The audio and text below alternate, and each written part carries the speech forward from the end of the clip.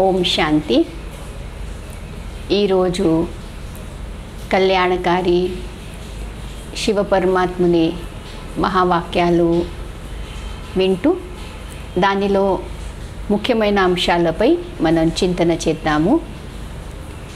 బాబా ఈరోజు పిల్లలకు అన్నారు పిల్లలు మీకు ఏ విషయంలో చాలా నష అనేది ఉండాలి.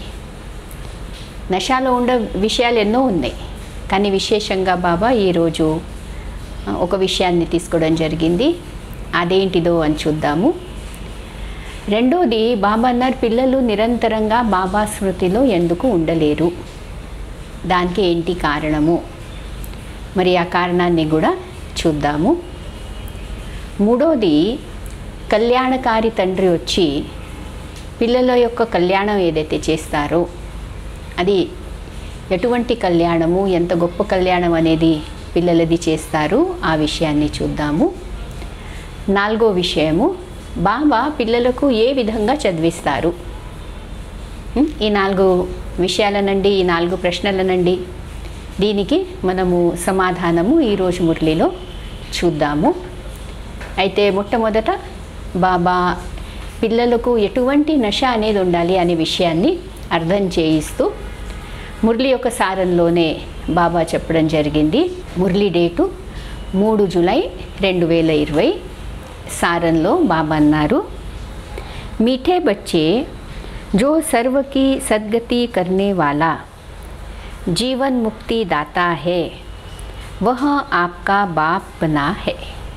మధురమైన పిల్లలు మీకు ఎవరు తండ్రిగా ఉన్నారు ఇప్పుడు?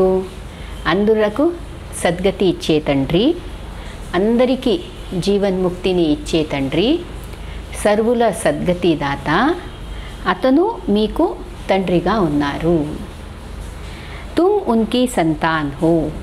మీరిప్పుడు వారి సంతానము.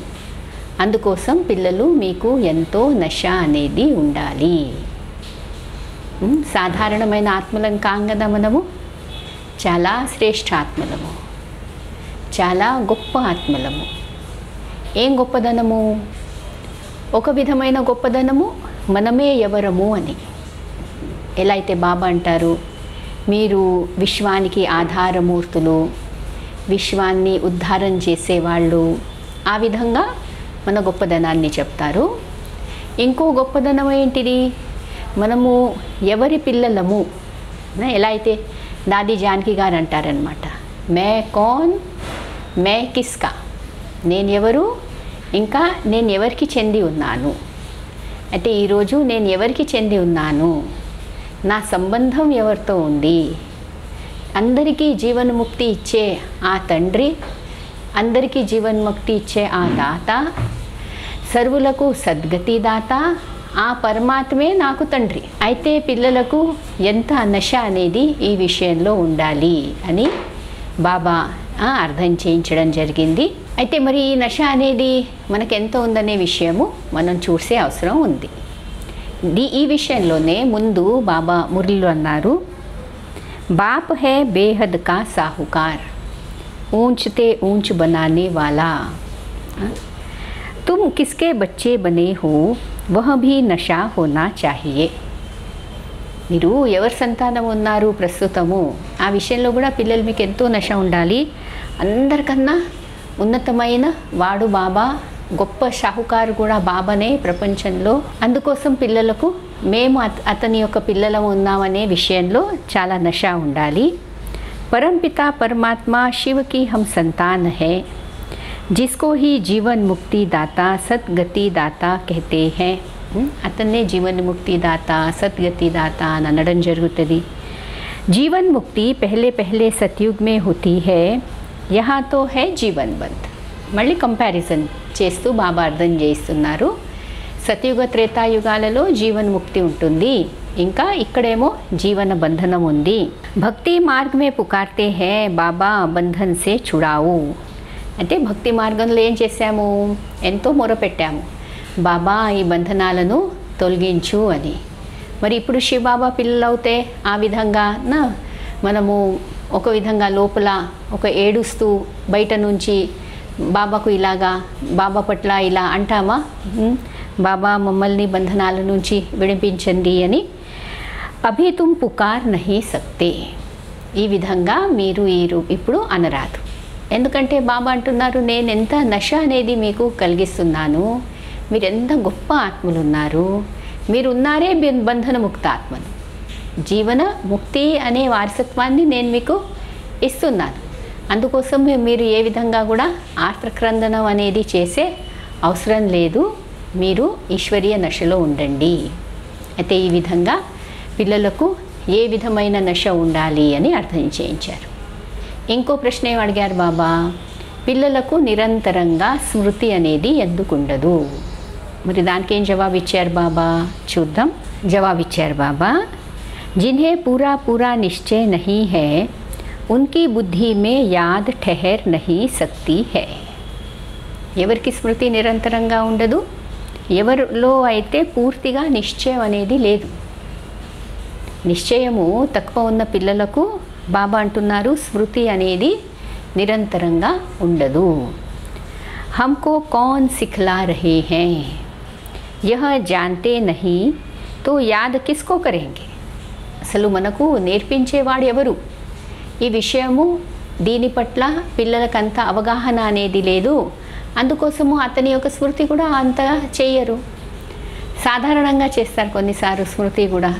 కానీ ఆ ఈశ్వరీయ నశ యొక్క అనుభూతి అనేది పిల్లలకు ఉండదు. ఎందుకంటే ఎవరు మనకు నేర్పిస్తున్నారు అనే విషయంలో పిల్లలకు అంత అవగాహన అనేది లేదు. బాబాను కూడా సాధారణంగా అనుకుంటాం కదా కొన్నిసార్లు. ఎవరు మనకు మురళి చెప్తున్నారు? ఎవరి జ్ఞానాన్ని వింటున్నాము అనే విషయం పట్ల మనకు ఎంత అవగాహన ఉంటే అంత బాబా చెప్పే మహావాక్యాల పట్ల శ్రీమతం పట్ల మనకంత రెస్పెక్ట్ ఉంటుంది. ఇంకా అంత మనము ఆ మహావాక్యాలను జీవితంలో తీసుకొస్తాం. జో యథార్థ పెహచాన్ కర్ యాద్ కర్తే హే. ఎవరైతే యథార్థంగా బాబాను తెలుసుకుంటారో ఇంకా స్మృతి చేస్తారో వాళ్ళకేమవుతుంది అంటున్నారు బాబా? ఉన్కే హీ వికర్మ వినాశ హోతే హే యథార్థంగా గుర్తు చేయాలి బాబాను యథార్థంగా గుర్తు చేయడం అంటే ఏంటిది? బాబా సమానమైన స్థితిలో స్వయానికి తీసుకుపోయి ఆ స్థితిలో బాబాను గుర్తు చేయడం అనమాట భక్తిలో కూడా గుర్తు చేశాము కానీ భక్తిలో గుర్తు చేస్తే వికర్మలు వినాశనం అవ్వలే. కానీ ఇప్పుడు బాబా అంటున్నారు మీరు వికర్మలను వినాశనం చేసుకోవచ్చు. దానికి కారణం ఏంటిది? భక్తులు ఎందుకు మన వికర్మలు వినాశనం అవ్వలే? ఒకటేమో బాబా యొక్క పరిచయమే లేదు. ఒక యథార్థ పరిచయం లేదు. రెండోది బాబా యొక్క యథార్థ స్మృతి లేదు. అక్కడ భక్తులు ఏం చేశాము? మీరు గొప్పవాళ్ళు మేము చాలా పాపాత్మలు. అంటే స్వయాన్ని చాలా దిగజారేసి స్వయం గురించి అలా మాట్లాడడం జరిగింది అలా ఆలోచించడం జరిగింది. అందుకోసం వికర్మలు వినాశనం అవ్వలే. ఇప్పుడేమంటున్నారు బాబా?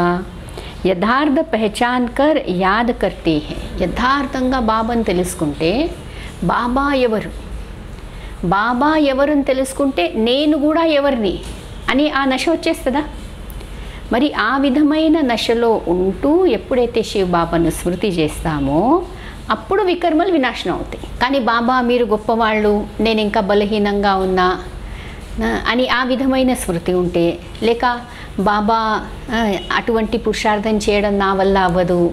అంటే స్వయం స్వయంలో ఎక్కడైనా హీనంగా స్వయం గురించి సంకల్పం వస్తే కూడా బాబా సమానంగా మనం లేం కదా ఆ సమయంలో.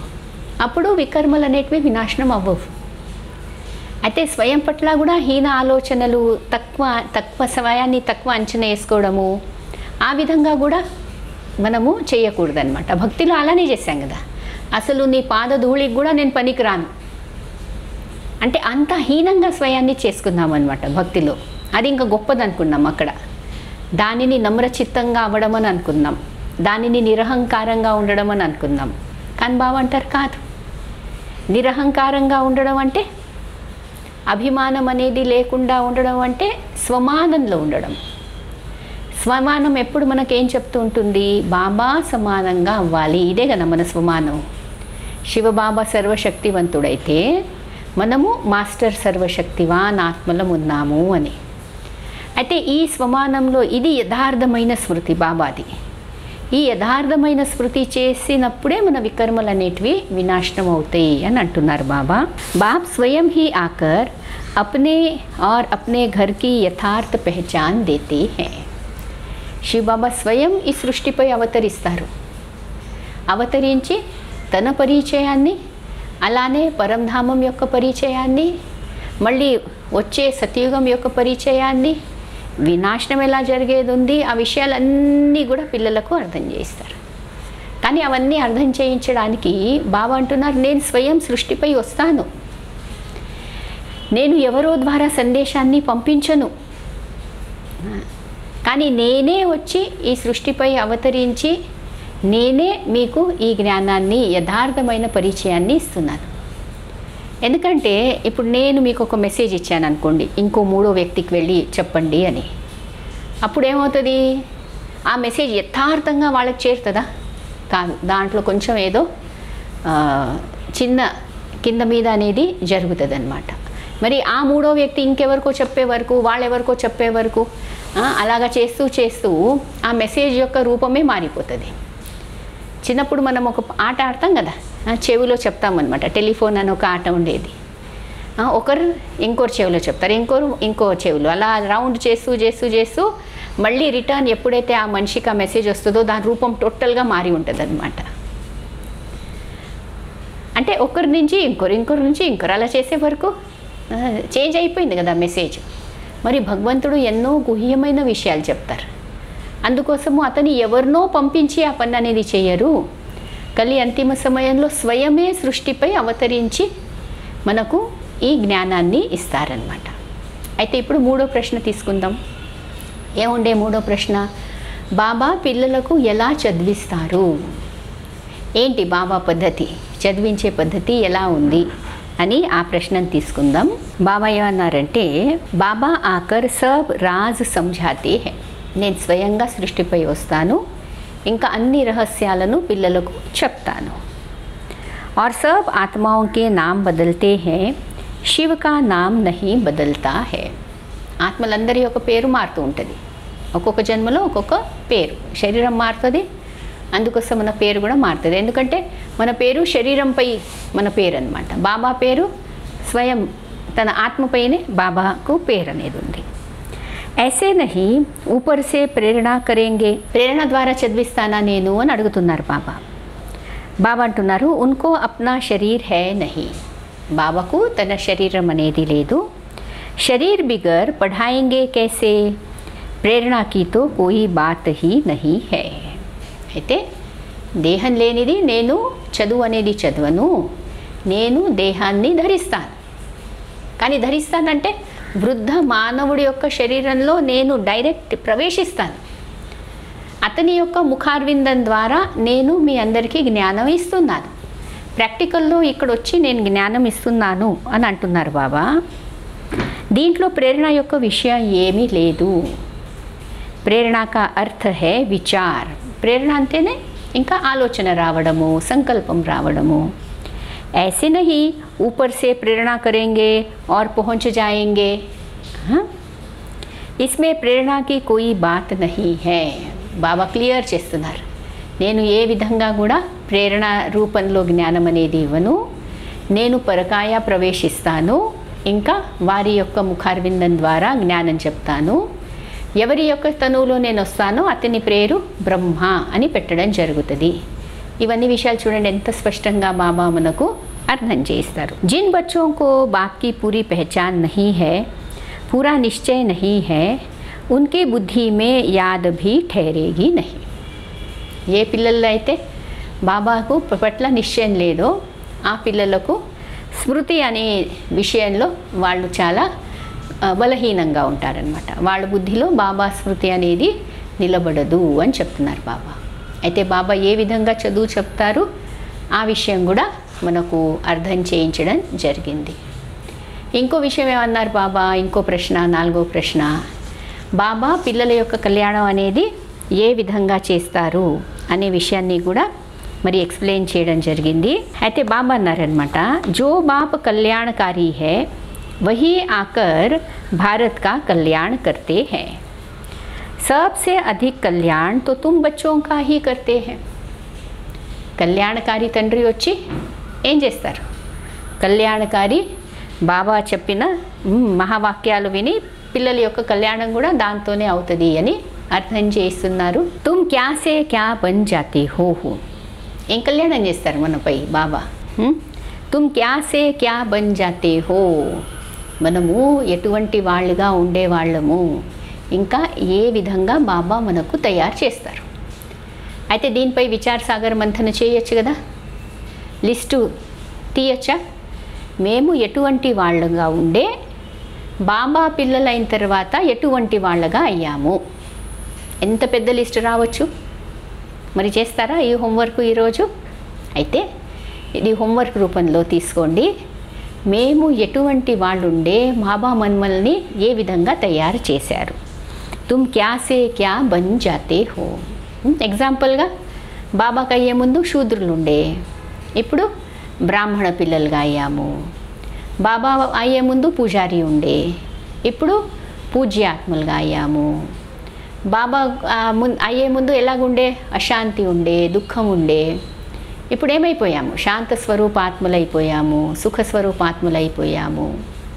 ఇలా లిస్ట్ అనేది మనం తీయచ్చు అనమాట ఇలా లిస్ట్ తీస్తే ఏమవుతుంది? ఎందుకు తీయాలి ఈ విధంగా లిస్టు? ఎంత సంతోషం అనేది కలుగుతుంది అనమాట ఎటువంటి వాళ్ళు ఉండే బాబా మనను ఎటువంటి వాళ్ళుగా తయారు చేశారు. థ్యాంక్స్ బాబా అని మనసు నుంచి బాబా పట్ల థ్యాంక్స్ వస్తుంది అనమాట తుమ్ అమర్లోకే మాలిక్ బంతే హో? చూడండి. ఏం తయారు చేస్తున్నారు బాబా మనను? అమర్లోకానికి యజమాని తయారు చేస్తున్నారు. అభీహి తుమ్ కామ్ పర్ జీ విజయ పాతే హో? అయితే ఈ సమయంలోనే కామవికారంపై విజయం పొందుతున్నారు. ముందు వికారి ఉండే ఇప్పుడు నిర్వికారి అవుతున్నాము. వహా అకాలే మృత్యు హోతీ నహీ హై మర్నే బాత్ హీ నహీ హై. ఇప్పుడు ఎలా ఉన్నాము? మృత్యులోకంలో ఉన్నాము. మళ్ళీ అమరలోకంలో వెళ్తాము. అమరలోకంలో మృత్యు యొక్క విషయమే లేదు. అసలు అక్కడ ఆ మృత్యు అనే పదమే ఉండదు అంటున్నారు బాబా.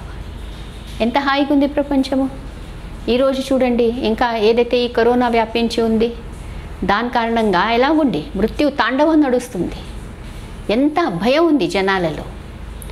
సో కానీ సత్యుగంతో పోలిస్తే ఎంత దుఃఖం ఉంది ఇక్కడ. సత్యుగంలో మృత్యు యొక్క మాటనే ఉండదంటున్నారు బాబా. ఏం అనుభూతి ఉంటుంది అక్కడ? ఎలా అయితే రోజు మనము వస్త్రాలను తీసేస్తాము కొత్త వస్త్రాలను ధరిస్తామో ఆ విధంగా సత్యుగంలో కూడా చేస్తాము అని అంటారు బాబా. తో మరనేకి బాత్ హీ నహీ హై బాకీ చోలాతో బదిలేంగేనా? వస్త్రాలు చేంజ్ చేసినట్లు. అంటే అందుకోసము దేవతలు అమరులు అంటే లౌకికంలో భక్తిలో అనుకుంటారు? అమరులు అంటే అసలే చనిపోరు ఆ దేహంలోనే ఉంటారని. బాబా అంటారు కాదు. ఆ దేహంలోనే ఎన్ని సంవత్సరాలు ఉంటారు ఆ దేహంలో వన్ ఫిఫ్టీ ఇయర్స్ వరకు మంచి నిండుగా ఉంటుంది ఏజు.